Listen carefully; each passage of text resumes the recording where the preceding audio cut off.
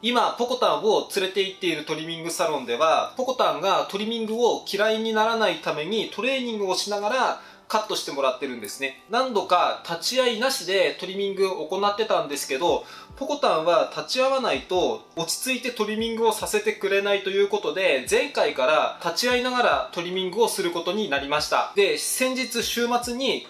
ポコタンカットする予定だったんですけど、その前日にですね、都内のコロナ感染者数が5000人を超えたんですね。ポコタン連れて行ってるのは都内のトリミングサロンなんですけど、さすがにね、ちょっと5000人超えてくると、他の方と接触するのも怖いなっていうのもあるのと、あともし万が一僕がコロナに感染していたらトリマーさんにもご迷惑をかけてしまうなと思って、まあ、立ち会いもしなきゃいけないので、今回はやむなくキャンセルさせていただくことにしました。で、そのサロンはすごく人気のある場所なので、突発で予約を入れることができないんですね。で、いつも3ヶ月先まで予約を入れてる状態なんですけど、今回キャンセルしたので、次にカットを行うのがまた3週間後とかになるんですよ。ただね、その3週間後だからといってコロナが落ち着いてるかって言われると、まあ、なんとも言えないんですよね。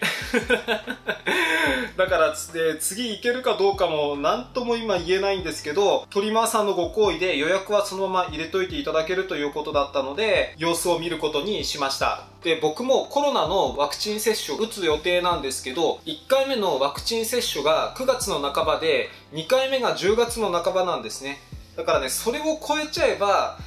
まあ今よりはまだね、あの、接種してるので、かなり感染する確率は減るのかなとは思うんですけど、ただだからといって感染しないわけではないので、もちろん注意は必要なんですけど、まあ、今よりはマシなのかなと思うので、まあ、10月を超えればね、安心してポコタンをトリミングにも連れていくことができるのかなとは思うんですけど、僕、コロナに感染すると、ポコタンとチンチラのプーちゃんとデグーのピーちゃんがいるんですけど、全く面倒を見れなくなっちゃうというのが一番怖いんですよね。僕が感染したら、例えば家族がこの家に入ってくることもできないので、そうなるとね、最悪の結果にもなりかねないので、家から極力出ないようにしておこうと思います。ポコタンは今もだいぶ毛が長いんですけど、まあ、僕がカットできるところはちょこちょこカットしてあげようかなと思います。